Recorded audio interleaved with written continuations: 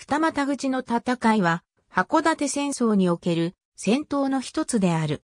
函館に通じる二股口に進撃する新政府軍に対して、旧幕府軍は大場山に胸壁と陣地を構築して、小銃で防戦し、2週間にわたって新政府軍の進撃を阻止した。明治2年4月9日、乙部に上陸した新政府軍1500名は3つのルートから函館へ向けて進軍を開始した。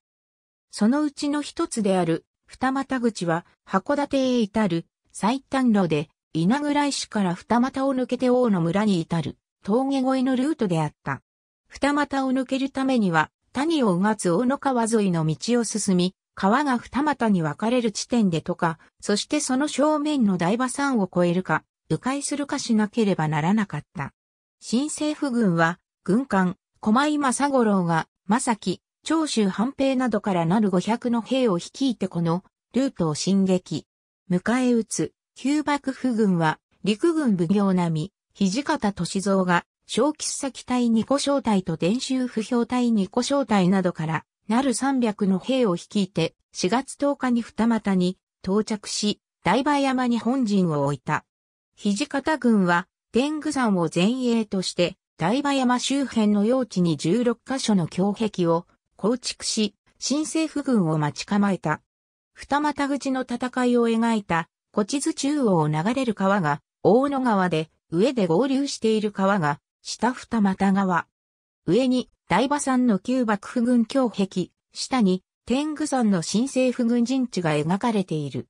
4月13日午後3時、江差から進軍してきた新政府軍は天狗山を攻略し、そのまま大場山本陣に対して攻撃を開始した。旧幕府軍は胸壁を盾に小銃で防戦し、熾烈な銃撃戦が展開された。数で勝る新政府軍は次々と兵を入れ替えて攻撃を繰り返し、迎え撃つ。旧幕府軍も2小隊ずつが交代で休憩を取りながら小銃を撃ち続けた。日没頃から雨が降り出すと、旧幕府軍では弾薬が濡れないように上着をかけて守り、来艦が閉めると懐に入れて乾かした。翌14日午前7時頃、銃弾を撃ち尽くした新政府軍は疲労困憊して稲倉石まで撤退。16時間に及んだ戦闘で、旧幕府軍は3万5千発の弾丸を消費した。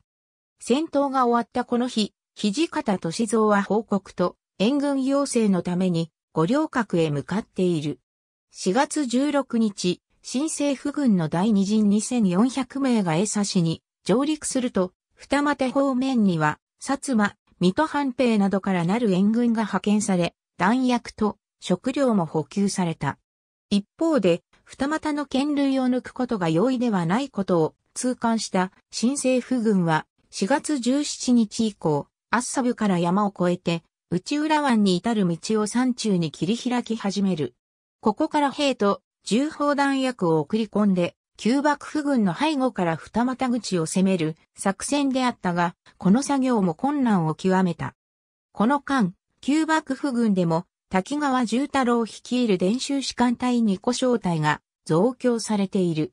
4月23日、福山藩が警備していた新政府軍の天狗山陣地に旧幕府軍の石膏が近づいて戦闘が始まる。同日午後4時頃、強壁突破を断念した新政府軍が九春長木によじ登って、旧幕府軍の左手の山から小銃を撃ち下ろし、そのまま夜を徹しての大激戦となる。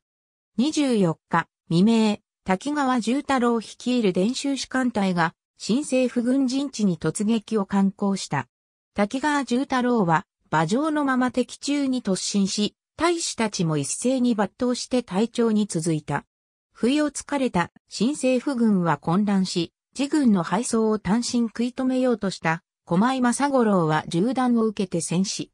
それでも新政府軍は新しい兵を次々に投入するが、旧幕府軍を打ち破るには至らず、25日未明、ついに撤退した。一昼夜以上に及んだこの戦闘で、旧幕府軍は熱くなった重心を桶水で冷やしながら、小銃を撃ち続けた。新政府軍はこれ以降、大場山攻略を諦め、迂回路の構築に専念する。二股口で、土方軍が新政府軍の進撃を食い止めている。一方で、正木と木古内は新政府軍に突破され、旧幕府軍は、ヤフライで主勢に回っていた。4月29日、土方は援軍を派遣したがヤフライは突破され、これにより、退路を断たれる恐れがあった。土方軍は、五稜郭への撤退を余儀なくされる。ありがとうございます。